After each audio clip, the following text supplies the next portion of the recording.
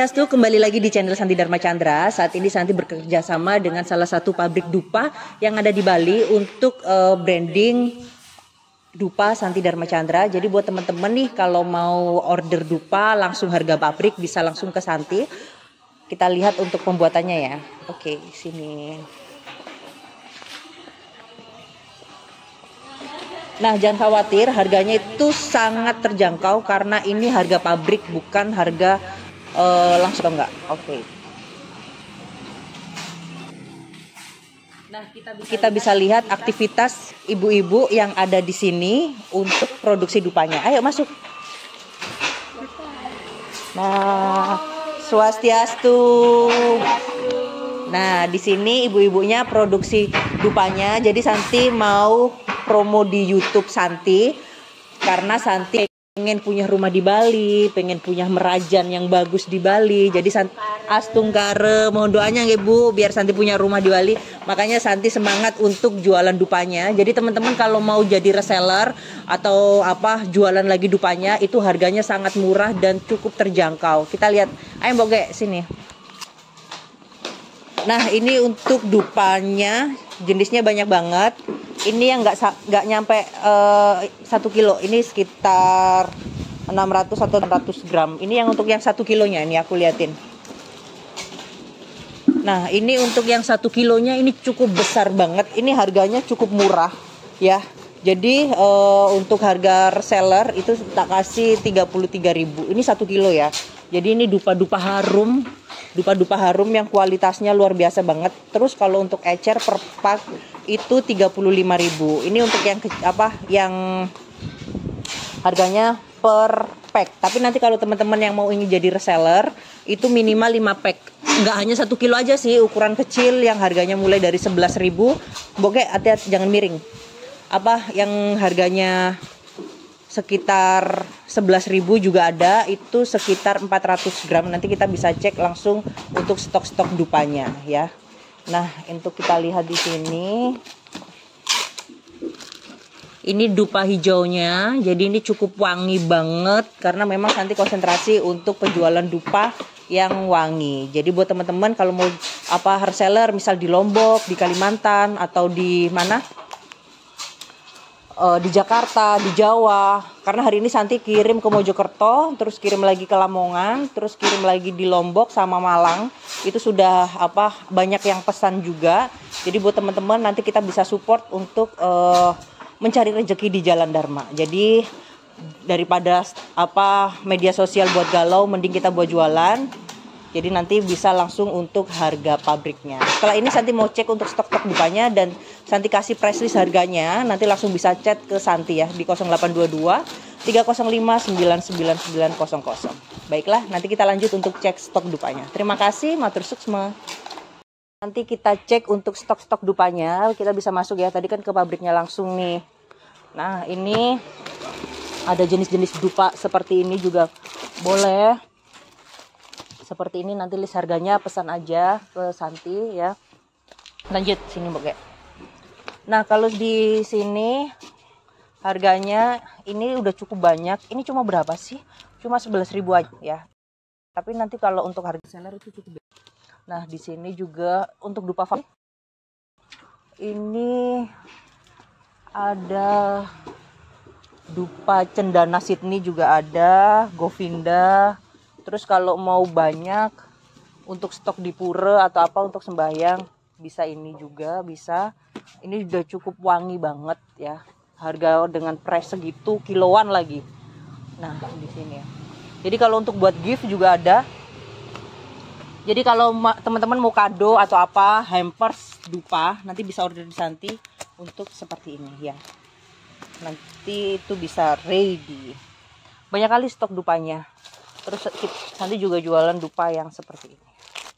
Jadi teman-teman mau dupa apa dupa apa atau apa kardusan atau belinya puluhan kilo bisa langsung oke terima kasih Santi semangat untuk berusaha di sini dan teman-teman juga yang lain karena Santi juga e, ngajarin anak-anak di fabel terus anak-anak yang apa remaja-remaja teruna-teruni di Pura entah di Malang di Lombok Bo, aku ajarin jualan dong. Ya udah kita cari rezeki di jalur yang baik.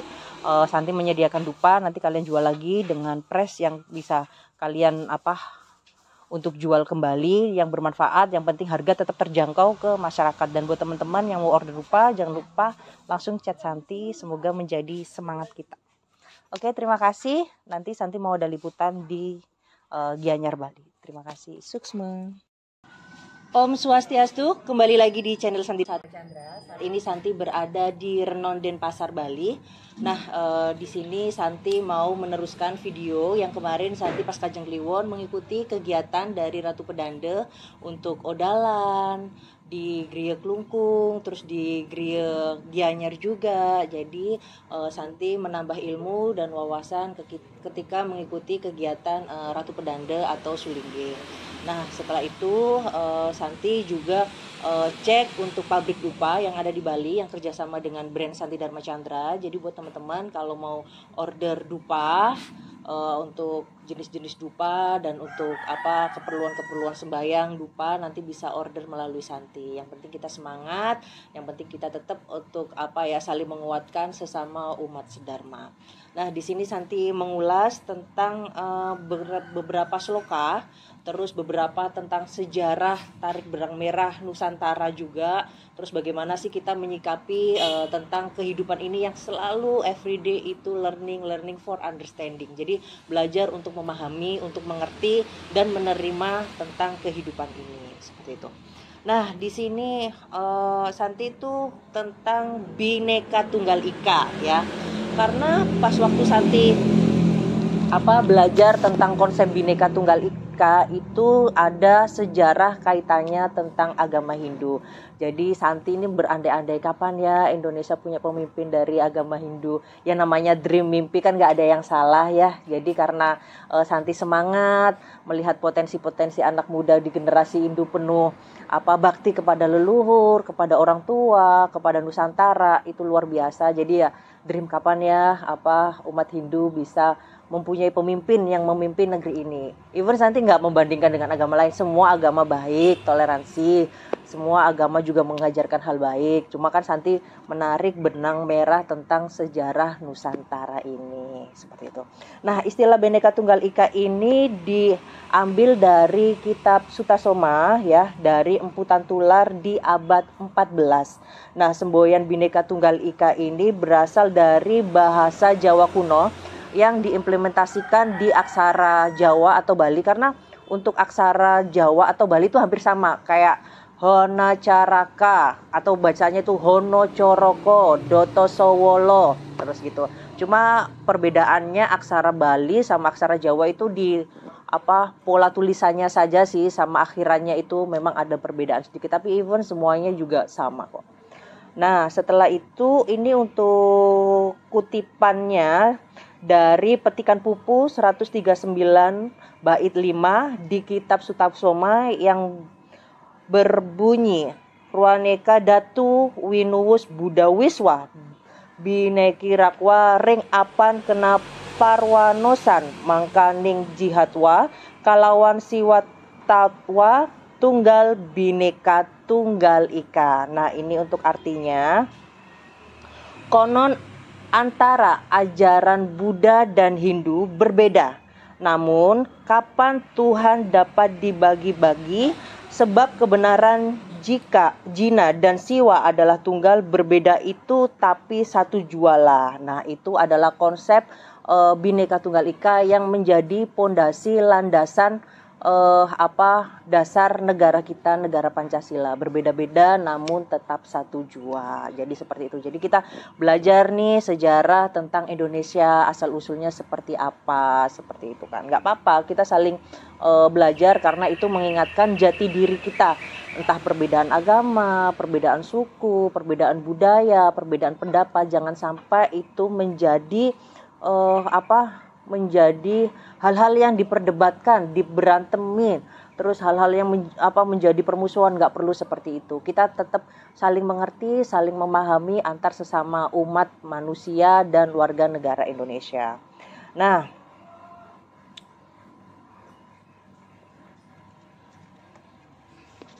karena tadi sudah untuk apa obrolan-obrolan dreamingnya Santi semoga para generasi umat Hindu khususnya itu bisa menjadi contoh umat-umat lain ketika kita mencintai negara kita sendiri. Jadi mencintai Nusantara menjaga apa sejarah kita menjaga jati diri kita. Jangan sampai Indonesia ini kehilangan jati diri kehilangan asal usulnya lupa.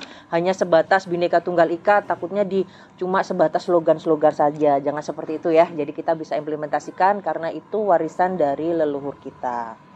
Nah, di sini Santi juga uh, menjelaskan bahwasanya agama Hindu itu ada agama yang moderat, yaitu uh, karena agama yang moderat itu agama yang bertoleransi sekali. Karena Santi nanti akan mengutip apa dari sloka-sloka begawa kita, tapi realitanya kita masih banyak melihat uh, perilaku-perilaku oknum uh, di mana pun di daerah mana pun atau apa masih aja apa mempermasalahkan perdebatan agama uh, kekerasan terus uh, saling apa ada persekusi terus hak-hak uh, untuk beribadah pembangunan agama uh, pembangunan uh, apa rumah ibadah juga masih diperdebatkan ini itu. Bahwasanya jangan sampai kita belajar agama itu menjadikan apa perilaku yang tidak baik karena kita ketika semakin belajar agama agama apa pun itu ya uh, kita harus mewakili dari sikap-sikap Tuhan yang welas asih yang apa yang saling mencintai, yang saling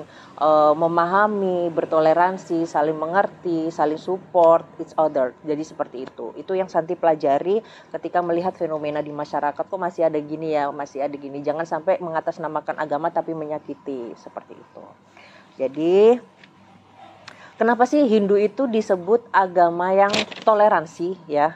Karena Santi mengutip dari Begawa Gita Atnyana 4 Sloka 11 bahwasanya ada jalan mana pun ditempuh manusia ke arahku semuanya ku terima dari mana-mana semua mereka menuju jalanku. Nah, sloka ini mengajarkan apa pun yang kita yakini, entah agama, entah aliran, entah tata cara sembahyang, entah tata cara pujian, terus entah cara kita mengaturkan apa pun. Yang penting ketika kita mendekatkan uh, diri kepada Tuhan itu pasti akan diterima Tuhan. Dan uh, yang dibaca perilaku adalah uh, yang dibaca perilaku adalah sikap kita. Bagaimana kita berinteraksi dengan manusia bagaimana kita berinteraksi dengan uh, lingkungan dan berinteraksi dengan Tuhan. Jadi itu sudah dijelaskan di konsep Hindu yaitu Trihita Karana. Seperti itu ya Nah, terus Santi mengutip lagi uh, Begawa Gita artinya sloka 7 titik 21 yaitu apa pun bentuk kepercayaan yang ingin dipeluk oleh penganut agama, aku perlakukan kepercayaan mereka sama supaya tetap teguh dan sejahtera. Nah, di sini Hindu bersifat universal terbukti di Indonesia ya, apalagi uh, di Indonesia antara Hindu Bali, Hindu Jawa, Hindu Kalimantan, Hindu Sulawesi, Hindu Sumatera itu beda-beda untuk tata cara upakaranya, tata cara sembah uh, persembahannya, terus tata cara mungkin mantra-mantranya juga beda, ada yang mantra Jawa, bahasa Jawa atau mantra apa pun itu. Jadi uh, apa mengajarkan bahwasanya Hindu itu benar-benar bersifat universal. Bentar, Kak karena ada sponsor dulu biar lewat dulu ya. Nanti dipotong ya dek untuk editannya.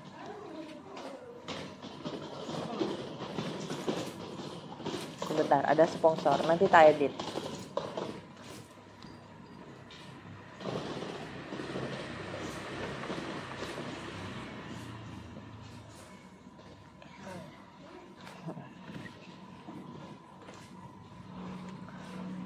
Nah, di sini uh, Santi menjelaskan lagi bahwasanya Hindu sudah mengajarkan universal terhadap uh, kita ketika sembahyang, entah itu Hindu dari Jawa, Hindu dari Bali, Hindu dari uh, mana uh, Kalimantan, Sulawesi, Sumatera, tata cara sembahyangnya beda, tata cara sesembahannya beda, mungkin mantranya juga beda gitu kan.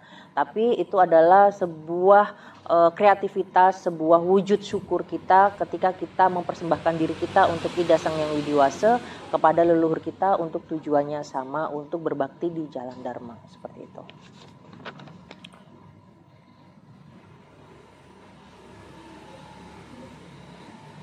Nah, di sini di Bali juga Santi tuh belajar bahwasanya di Bali itu ada desa Kalapatra ya. Jadi kayak perbedaan entah Bantennya seperti apa, entah tata cara upakaranya. Mereka mempunyai pakem-pakem sendiri setiap desa dan itu sudah menjadi uh, simbolis bahwasanya Hindu itu universal karena ada yang bentuknya canang kotak, canang bulat, canang daun pisang atau apa pun itu yang nggak nggak masalah gitu loh. Jadi itu karena sesembahan apa yang kita sembahkan itu dari kreativitas kita, bukan apa, bukan langsung langsung pakemnya seperti ini kalau nggak seperti ini salah nggak seperti itu jadi dari Hindu kita sudah bisa belajar arti toleransi bisa menjadi apa uh, sikap kreatif kreativitas kita itu sangat diapresiasi sama Ida Sang Yang Widiwasa. Nah, di sini juga Santi sempat membaca uh, ada tulisan dari si Krishna memberitahukan di dunia ini ada banyak agama. Semua kehendak Tuhan, cara pujian, cara sembahyang, jadi nggak perlu kita memperdebatkan uh, agama ini yang paling benar, agama ini paling salah gitu kan.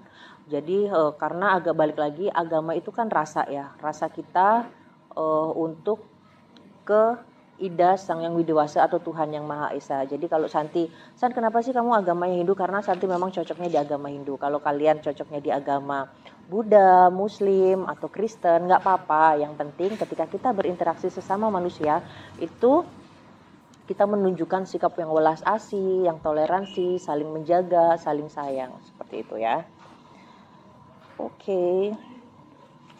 Jadi sangat seru sih nanti kalau belajar-belajar uh, begawa gita atau sloka-sloka untuk uh, menunjukkan bagaimana kita untuk tetap semangat menjalani hidup, semangat untuk berbakti kepada uh, Ida Sang Yang Widiwasa. Seru kok kalau untuk belajar-belajar sloka seperti itu. Nah, di sini juga Santi yang lebih perlu bahwasanya uh, Hindu itu mengajarkan agar tidak radikal, agar tidak uh, membuat gaduh di negara ini karena kita uh, sudah diajarkan untuk konsep uh, dharma negara dan dharma agama dan itu uh, dijelaskan dan diimplementasikan di kehidupan kita sehari-hari. Jadi uh, apa sih dharma itu gitu kan? Apa sih dharma negara itu? Dharma negara itu adalah kita sebagai warga negara wajib menjaga, membela dan menjunjung tinggi kehormatan negara, mengisi kemerdekaan dan selalu mengingat jasa pahlawan kita seperti itu ya. Nah, di sini juga uh, uh, Dharma Negara sama Dharma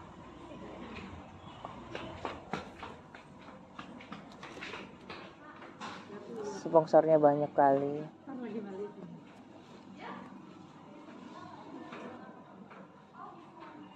Sebentar ya dek, nanti dikat-kat aja lah kalau yang error-error gini.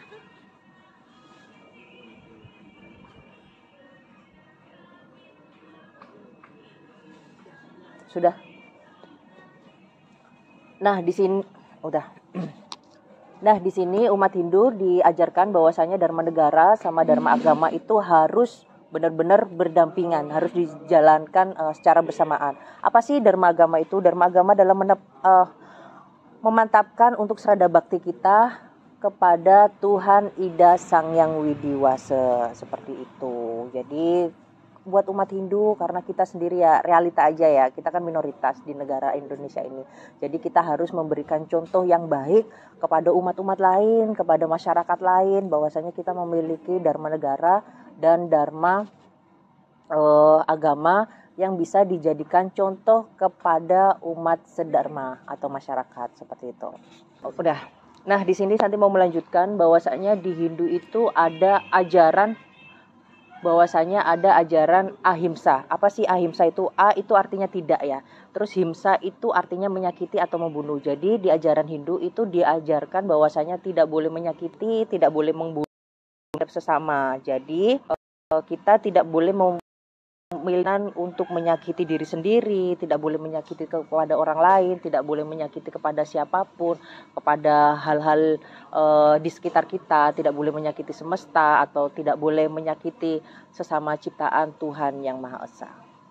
Nah, di sini Santi ulangi lagi tentang konsep dharma agama sama dharma negara. Kita tahu bahwasanya konsep dharma negara adalah kita sebagai warga negara wajib membela, menjaga dan memberikan uh, rasa kedamaian, rasa bakti kita kepada pemerintah, kepada uh, apa uh, negara Indonesia, tidak boleh bertengkar, tidak boleh uh, menjadi apa ya uh, menciptakan kekacauan kita di Hindu tidak diajarkan seperti itu karena kita nilai-nilai perjuangan leluhur kita atau pahlawan di Indonesia. Sama halnya kita ketika kita menjalankan dharma agama yaitu meningkatkan Tuhan yang Maha Esa atau Ida Sang Yang Widiwasa bahwasanya kita harus mengimplementasikan nilai-nilai luhur kita Pancasrada kita terhadap uh, di kehidupan sehari-hari. Maka dari itu, semoga umat Hindu bisa menjadi inspirasi bagi masyarakat, bagi umat sedharma, terus bagi uh, apa siapa pun yang melihat kita itu kita bisa dijadikan contoh. Jadi umat Hindu itu sebagai inspirasi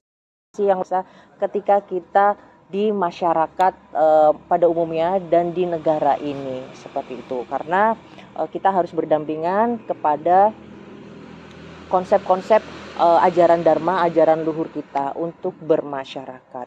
Nah, di sini juga Hindu uh, diajarkan bahwasanya ada uh, ahimsa. Jadi ahimsa itu apa sih? A itu artinya tidak, ya. Terus himsa itu menyakiti atau membunuh arti bahwasanya di Hindu itu tidak diajari tidak untuk menyakiti dan tidak membunuh. Jadi kita tidak boleh menyakiti diri sendiri, tidak boleh menyakiti lingkungan, tidak boleh menyakiti sesama dan kita bisa konsep menjaga itu kita e, berpegang teguh pada konsep Trihita Karana, bagaimana hubungan kita kepada Tuhan yang Maha Esa, kepada sesama manusia, terhadap alam semesta. Jadi benar-benar umat Hindu itu sebagai contoh yang welas asih, yang lembut hatinya, yang uh, apa bisa dijadikan uh, apa ya contoh ketika kita menerapkan toleransi di antar umat beragama karena kita tidak uh, apa tidak diajarkan untuk hal-hal yang negatif karena kita selalu menjaga dengan rasa cinta, dengan kelembutan seperti itu.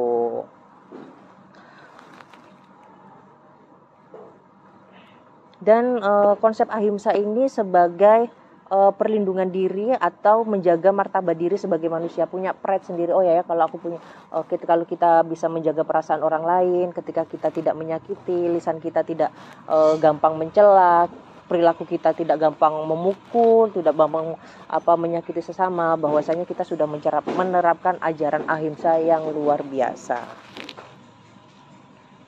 Nah, di sini di Hindu juga tidak diajarin diskriminasi karena e, Santi mengutip Begawa Gita, aku bersikap sama kepada semua makhluk, tidak ada yang aku benci, tidak ada yang aku kasihi. Akan tetapi mereka yang memujaku dengan rasa bakti, maka dia akan selalu bersamaku dan aku ada pada dirinya. Maka dari itu e, Tuhan tidak uh, tidak membedakan agama apa sih, suku apa sih, atau tidak membedakan uh, ini Bantennya yang paling gede, yang paling disayang, terus yang cuma sesembahan uh, bunga doang, nggak disayang Tuhan, nggak seperti itu konsepnya. Jadi kita benar-benar tetap disayang Tuhan, Ida Sang Yang Widiwasa, bahwasanya apa pun yang kita sembahkan, asalkan kita tulus, ikhlas dan berbakti, itu pasti akan uh, selalu dalam uh, lindungan Tuhan Ida Sang Yang Widiwasa. Jadi uh, karena uh, agama Hindu misal nih oh Hindu Bali seperti ini, Hindu Jawa seperti ini, Hindu Kalimantan seperti ini, Hindu Sumatera seperti ini. Mereka dengan Banten kreativitas masing-masing, sesembahan dengan kreativitas masing-masing, mungkin mantranya berbeda atau apa. Karena perbedaan-perbedaan itu bukan sebagai untuk pemecah belah agama Hindu sendiri, tapi sebagai wujud kreativitas, wujud warna, wujud apa e, rasa syukur kita setiap daerah itu mempunyai e, apa keunikan sendiri, mempunyai e, ciri khas sendiri yang akan e, menjadi apa ya, menjadi hal yang cukup unik dan cukup apa ya cukup seru lah kalau dilihat itu. Jadi oh Hindu ternyata di Hindu Bali seperti ini Hindu Jawa seperti ini Hindu Kalimantan seperti ini Hindu Sulawesi seperti ini. Banyak warna yang memang uh, sesuai hati sesuai dengan uh, budaya sesuai dengan nilai-nilai ajaran leluhur di daerah masing-masing. Dan di Bali sendiri itu juga ada desa Kalepatre ya. Jadi setiap desa itu mungkin bebantannya beda terus apa upakaranya apa ya tatanannya juga beda atau apa pun itu bukan berarti itu sebagai uh, apa dasar untuk permusuhan debat ini itu enggak tapi itu sebagai uh, ciri khas setiap desa atau setiap daerah. Jadi itu seru sih Santi lihatnya itu. Bukan berarti oh, ketika kamu canangnya bulat terus ada canangnya kotak terus atau canangnya daun pisang kamu salah kamu ini ini yang paling benar nggak seperti itu. Semuanya apa pun yang dilakukan dengan hati dengan rasa bakti tulus itu kita sudah uh, memiliki tempat bahwasanya hati kita sudah ada Tuhan Ida Sang Yang Widiwasa. Seperti itu. Jadi kan uh, hari ini kan seperti obrolan santai ya. Uh, santai hanya sebagai konsep anak negeri bahwasanya pengen gitu loh sebagai umat Hindu itu sebagai inspirasi bagi masyarakat Indonesia bagi negara ini nggak nggak ada salahnya dong kalau Santi punya impian bahwasanya kapan sih umat Hindu ini bisa memimpin negeri ini karena dari Santi belajar kitab-kitab yang tadi kitab Sutasoma, kitab Emputa Tular, bahwasanya landasan-landasan negara kita ini juga dari sejarah agama Hindu. Bukan berarti Santi membandingkan agama lain ya, enggak. Karena agama lain juga bagus sesuai dengan uh, kepercayaan masing-masing. Kenapa Santi beragama Hindu? Ya karena mungkin karena Santi cocok di agama Hindu gitu loh.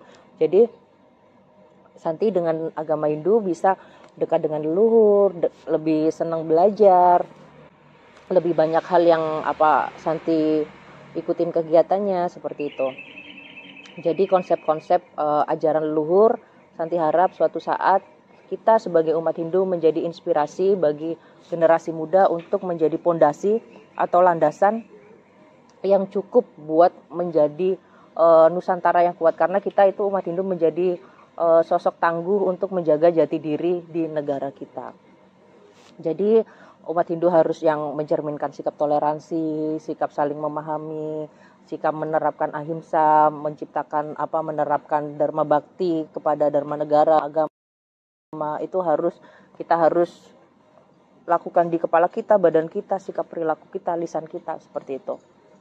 Jadi kita bisa menjadi contoh yang luar biasa ya seperti itu. Terus Santi punya pengalaman nih pas waktu Santi ngisi uh, uh, apa diundang kegiatan di MPR di Jakarta. Waktu itu Santi sempat untuk menjadi pembuka pembicara. Jadi Santi Om Swastiastu Santi ucapkan seperti itu. Om Awi Genamastu Namo Sidem. Semoga kebaikan datang dari segala penjuru arah. Terus berdoa sesuai agama Hindu di di Jakarta di MPR ya meskipun even di dalam sana itu juga banyak umat-umat agama lainnya nggak apa-apa.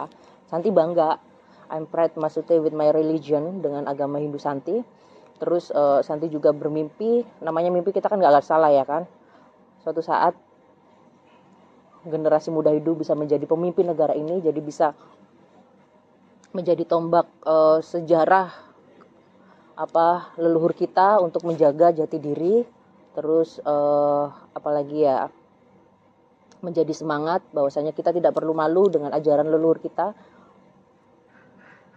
Terus apa ya banyak hal yang bisa dipelajari seperti itu. Yang penting itu saling kita saling menjaga saling menginspirasi kan enak ya seru ya kalau mau ada rapat atau apa pun. Ada canang cantik ada dupa ada segehan di dal apa di luar. Jadi kalau para buta kala itu nggak mengganggu wakil rakyat wakil rakyat ketika bekerja untuk negara gitu kan seru kan? Gitu. Jadi itu entahlah pikiran Santi seperti itu. Jadi biar uh, wakil rakyat konsentrasi tetap semangat tidak diganggu buta kala di dalam ruangan bau dupa untuk relaksasi terus lebih apa harum ruangannya. Dan itu ya namanya Santi kan ini cuma sekedar obrolan santai. Obrolan santai dalam artian ya nggak apa-apa apa banyak hal yang Santi terapkan. Karena hmm, ketika menyampaikan hal ini nggak nggak perlu takut enggak kok orang Santi juga apa sebagai wujud Santi tadi untuk mencintai negara ini. Semua Santi teman-teman Santi yang Nasrani, yang Islam, yang Buddha, yang Katolik, semuanya Santi sayang, Santi rangkul. Yang penting kita tetap apa ketika berinteraksi kita saling menghormati, saling menghargai, ya kan. Setiap orang kan mempunyai mimpi masing-masing dan itu salah satu mimpi Santi. Semoga kita bisa menciptakan generasi anak-anak kita generasi muda kita, keluarga kita, masyarakat kita, umat kita untuk bisa menjadi contoh umat Hindu yang baik dengan menerapkan sloka-sloka begawa kita, menerapkan ajaran-ajaran Trihita Karana, meningkatkan serada bakti dengan dharma agama, meningkatkan kecintaan kita terhadap Nusantara dan negara dengan dharma negara. Terus ya pasti keren, Bang. ya oke terima kasih sudah menonton di channel YouTube Santi Dharma Chandra jangan lupa ya untuk tetap subscribe tetap tonton Santi yang masih minim ilmu banget jadi pengen menyampaikan banyak hal seperti itu terima kasih buat pemirsa Santi Dharma Chandra semoga teman-teman di seluruh bagian mana pun ya di daerah mana pun sehat selalu, rezeki lancar dan tetap semangat. Oke. Mari kita tutup dengan para Mas Santi ya. Om Santi, Santi, Santi. Om